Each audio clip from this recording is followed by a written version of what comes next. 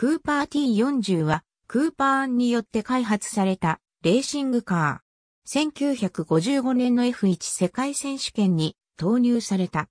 オーウェン・マドックとジャック・ブラバムによって設計され、1955年、イギリスグランプリに出場した。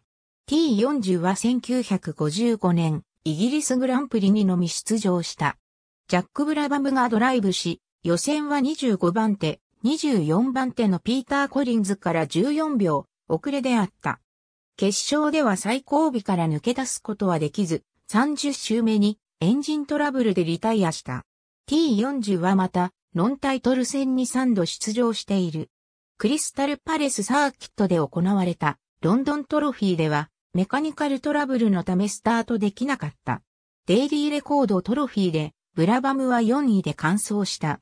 スネッタートンで行われたバンボールトロフィーはスターリングモスと3位を争った。結局ブラバムはこのレースも4位となった。ブラバムはオーストラリアグランプリを戦うため T40 と共に帰国した。レースの後、彼は家族をイギリスに移住させるための資金を調達するためクーパーを売却した。ありがとうございます。